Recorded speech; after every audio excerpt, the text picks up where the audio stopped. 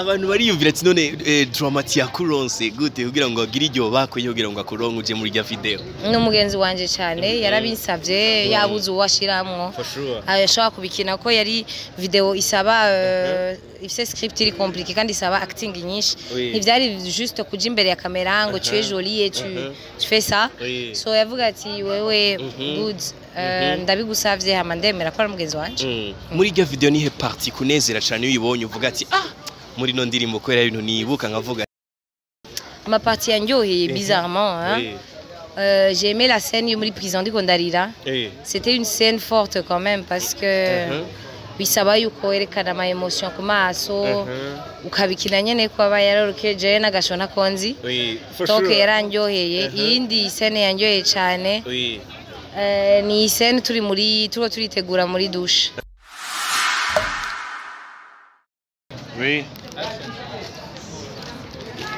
Yes, ladies and gentlemen, boys and girls, it's another beautiful day, another blessing. Nundi munsi udasanzwe n'ayandi mateka adasanzwe kongera kandi kubana namwe ku yindi nshuro. Uyu munsi ni umunsi udasanzwe guys. Urabona ubonye mu maboko yanje ndafise ikintu no kwita ni gaga. Benshi barayizi. Umwe abayizi babonye ngaha anye baca bayimenya niki kiri hano iruhande y'iwanje ndi kumwe na Mona Warda Mokenzi ndi kumwe n'umwe mu bigeme eh, bashoboye kugerageza kino kintu kirashobora kuba zari indota ariko zabaye impamo sivyo gamona? Niwe yagize iki? Ni we yayizanye. Niwe yayizanye. Of course uyu munsi nza guteramana naba. Ndi kumwe na brand ambassador n'uwazanye uno muzigo mu muji ni umuzigo mushasha. Umaze umwanya muto cyane winjiye mu gisagara cya Bujumbura. N'amahoro ni amahoro cyane rwose. Mhm. ego nabazaniye gaga kotegisi Oui. je nkaba ndi gaga. Mhm. nabazaniye si kotegisi Oui. ni inyishu ku bibazo Mhm. abakenyezi twari dufise. Ngiyi inyishu yakebanutse. Bya bibazo twese twama dufise. Oui. twibagire. Twibagire Mhm. twibagire hagira umusore wo kuyidoga yabonye gaga ngaha ah, ngo ntiyagiye ku kazi ngo aryamye mu nzu ngo Mm. kubera yatinya yuko ngo ababara mu nda ngo afise ama infection ngo aramererwa nabi. Iyi ni confort Oui. ni confort Mhm. maralesi mwamubwira mwibagire gaga yabazaniye inyishu Of course. Yego. Reka mbariza abigeme bariko baradukurikira muri uno mwanya cyane cyane bari mu gisagara ca Bujumbura barashobora kuyironka byoroshe bayikuye he bimeze gute? barashobora kuba vyoroshe barashobora gushika ngaha nyene. Eh, urabona gatwegeye ntuze ya Odeon Palace la Oui. Cosmeri bashitse Mhm. bacabona vyanditse ko hejuru eh, gaga en face ya face face ngaha hari station Mogase indani Aha. barashobora gushika tukabatunganyiriza abaranguzi Mhm. n'abandi bose murashika ngaha tubatunganyiriza abandi bo mu alimentation twababwiye ama alimentation yo muri nord muri sud muri ville Oui. mazisangamo no mu mabutike mugiye Mhm. kuzironka kura Mhm. benshi aguma bambaza ati Eh. amalimentation tukagushikayo mbwa mu Mhm. mabutike agiye kubashikira uno munsi nyene mugende kubaza ibutike ibegereye sino muhamagare ku numero eh, 66 33 43 uh -huh. 60 mm -hmm. livraison à domicile abashikira aho muri hose. Yes, Eh, mwagize ikintu c'agaciro kumurondera Mona Warda no kumukugira brand ambassador wa kino kintu. Ndize ko kizoshika kure cyane. Benshi bazokimenya biciye kuri Mokens kuko tumuzi ku bintu byinshi. Amadil menshi. Ni henshi yagejeje ibintu cyane byabo kure. Mbega mwiteguye gute eh, kwakira abakiriya benshi? Aba- abazohava bibaza ngo bazobabura? Mwitegure gute kwakira marche nyinshi cyane twabikoze twiteguye cyane gose kuba turazi yuko ni ikintu gikoreshwa sh- ku kwezi kwezi n'abakenyezi ngaha Mhm. bose bari ngaha. Twarabyiteguriye ndazi umuntu a- aje gato muri juin azogaruka muri course. twari twabyiteguriye bose bazoshikirwa Mhm. muze muri benshi Mm. turi pre kubakira mwese. Byose ibintu byose birahari. Mhm. ego. Ku muntu atabizi mbega nakahe nakahe kabirya kari muri Cotex atosanga hanze akantu kabirya ka mbere ni ka gafreshere namye ndavuga wana gafreshere mona fisi Mhm. kuva tangu yambara freshere nta na poudre igwa risi wana na Eh, poudre ya fisi for sure. freshere nukuri kumara kubera intuzi Uh-huh. aguma twenga twenga Uh-huh. eh mugase gafreshere kari yakuse mu maso hariya uyambaye urabona urabona no zuba nyene kuko urabiri yashu. Hama aha mukwa urambara ura- urabiri yashu Mhm. muca wisiga deodorant kugira ngo ugume uri frais ibiki. Hariya nta kandi kantu kari gahari umuntu Oui. asha nta yitwa ni ya deodorant isiga hariya niyo yambaye hariya hariko aka deodorant Mm. kandi ukaguma uri frais umva gafashe umunsi wose. Izuba ni ryinshi ni ryinshi. Ntuguma utamuka ataka deodorant ufise uzokuma ukagendana ngaha indani. Mhm. ako nakabirya kandi kabirya ka nyamukuru ni igiterwa sofora ikozwemwo. Ituma ukiyambara ubwo nyene minota mirongo ibiri ya mbere Mhm. ano na 99% Mm. yica amabakteri yose ukiyambara urumva n'akantu ko karakunyene kariko nyene karakugira kariko karagukwega gatoya Mhm. hama amabakteri yose yapfuye bisigura yuko Mhm. sha wibagira Mm. yama irritation yama infection byose kandi wibagire 100% coton nta produit chimique irimwo Mhm. byose akantu kari soft koroshe cyane rwose. Mhm. byose. Merci beaucoup. Reka rero twakire brand ambassador nawe. Brand ambassador mokenzi mona warda muri uno mwanya nizere ko baradukurikirana mwumvise byinshi ku vyerekeye ino cotex badusiguriye ukuntu ushobora kuyironka badusiguriye aho iri eh, badusiguriye ariko nta giciro batubwiye. Ariko reka tugane na brand ambassador. Eh, nawe nyine ashobora kutubwira byinshi ukuntu twoyironka n'ukungene uko yiyumva kubona bamwa- bamucaguye kuba brand ambassador wa gaga. Eh, mokenzi ndasubiye kuramusa ndakuramukije nawe. Mhm. Umunsi wari kugenda gute mokenzi hewe ndashuye nyene mwamanitse ku zuba. So Eh, apasa ibindi byose ni fresh sana. Ni bien sana. Mukinzi wamuberewe iminsi yose wa mutagasi wo muri kuragira smile anytime.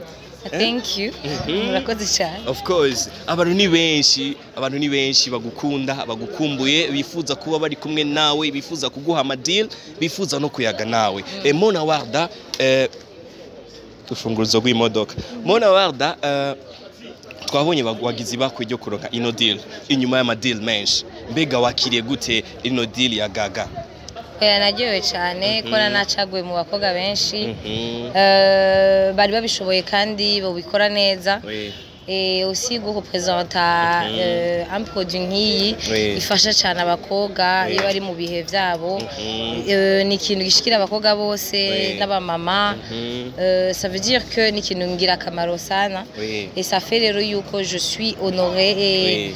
euh, je me sens privilégiée kubona ari jewe bacaga course. kugira ndakigira kandi akaba ari ikintu umva kiri de bonne qualité euh, gishobora guhindura ubuzima Mhm. bw'abakobwa benshi. Bahora Mhm. bakoresha ibitameze neza. Yego. Mhm. neza neza niyihe ntayo woshingira kwanza bariko baradukurikirana ku vyerekeye ino cotex bashobora kuyifata?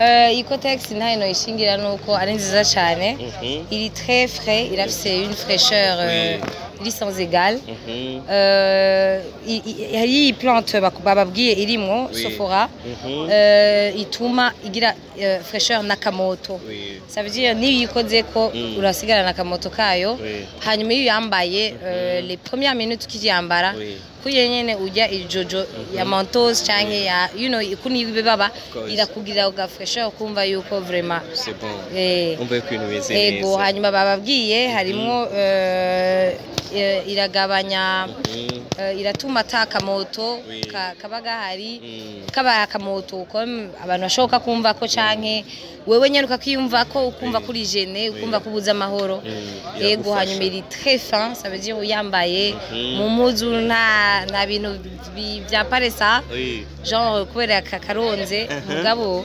kagaca kaba kagira tension nyinshi Oui. bah c'est un peu illogique Oui. nimwe nabivuga ati abazungu hari ibyo badushishije Mhm. comment est-ce que akantu tubona konze tuba twarishyizemo ko ibintu binini ari byo bigira meno ni nk'uko euh, ushobora kubona akapuce kangana gutya karimo Oui. ama information je sais pas quoi donc ça fait que c'est vraiment une très bonne qualité. Euh, n'umuntu yayizanye urumva ko akubwira yuko Mhm. euh, c'est sa marque mais ikorerwa hanze ni ibintu nyene vya top. Ihora wiyumva gutya iyo ubonye haje nk'umwigeme akiri muto yiyumvire gukora ikintu nk'iki muna warda akiyumvira gukora business nk'iyi. Ni ikihe kintu wakangurira ku bandi bigeme? Biraryoshe cyane kuko deja euh, on dit euh, mu Burundi hari ibintu vyinshi cyane Mm. euh, tubuze mu Burundi hari ikintu umuntu akwandikira kugira ngo ikinyesha wagikura he ukakibura Mhm. Euh, ça fait rero yuko hari amabesoin menshi atari Okay. muri buno Burundi Mhm. so kubona rero twaramenyereye ko business ari abagabo bayijamo Oui. tukabona ati hari umukobwa yavuze ati turafise un réel problème y'iki kintu ngaha agaca avuga ati reka bari jewe nyene. Mm. mu buto bwanje nze kugikora. Euh, ntange à ce problème biraryoshe ni cyane. Ibintu by'agaciro Ego cyane. ego muna warda urabegwa n'ingofero cyane mperuka kubona ijya nkofero ya Dramati imwe wari uri kumwe na Dramati Ah, niyo mperuka kubona wambaye. Ariko n'ubu ndabona irakubereye cyane. Urakoze cyane. Urabegwa cyane na kipi. Nibaza ko umutwe wanje ngira Mhm. uta- utari munini cyane arico Eh, gituma Eh. Eh, inyuma y'indirimbo yasohotse ya Dramati urimwo muri video yavugishije abantu benshi cyane. Nizihe feedback waronse kuri irya ndirimbo Mokenzi? Baje feedback zari za bien naye na Mhm. naye nafashe lift mu ndirimbo y'abandi kibahit urumva à chaque fois muyiravye urumva murambona alors que j'ai pas investi dans la chanson et sinaririmbye so. Mhm. euh, buzz ni buzz. Mhm. nshoboye kuronka visibilité mu cyacu Mhm. cyose Mhm. avec akazi tuba dukora vraiment c'est top. En tout cas vraiment j'ai pas perdu mon temps. Mhm. waratwise uca urimanukira yego vraiment. Muna wada bavuga yuko watwise muri irya video. Hamwe woja wovuga ati uno mwaka tugira tugire award y'aba video vixen. Bakagushira muri kategori hajya anya bakaguproposa ati tugushire muri kategori y'aba video vixen. Uri tayari kwinjira? Wapi Eh.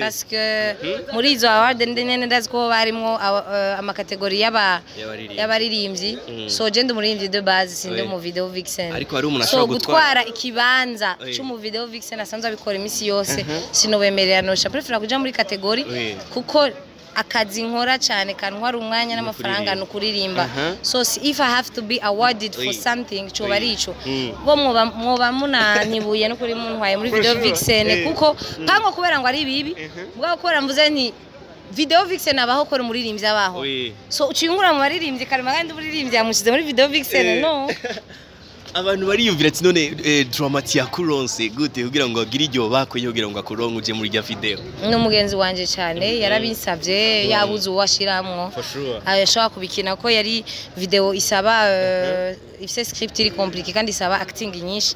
Ntibyari juste kuja imbere ya kamera ngo tu es jolie et tu, Uh-huh. tu fais ça. So yavuga ati wewe Mhm. good.